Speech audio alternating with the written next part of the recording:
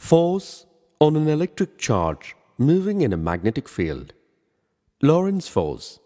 The current I flowing through a conductor of cross-sectional area A is given by I equals to NA VDQ, where Q stands for charge on the positively charged particle. N stands for number of free charge carriers per unit volume of the conductor. Vd stands for drift velocity. Therefore, I dl bar equals to Qn A Vd dl bar equals to Qn A Vd bar dl. Since Vd and dl are in the same direction. When this conductor is placed in a magnetic field of intensity, B bar, the force acting on it is dF bar equals to IDL bar cross B bar equals to QN ADL VD bar B bar.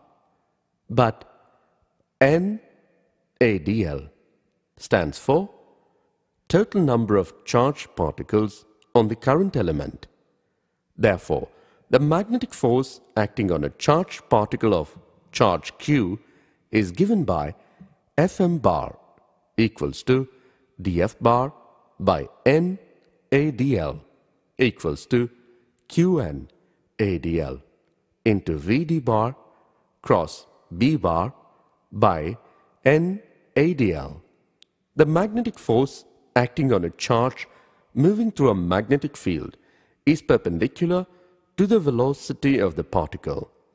Work done by this force is zero and hence the kinetic energy of the particle remains constant.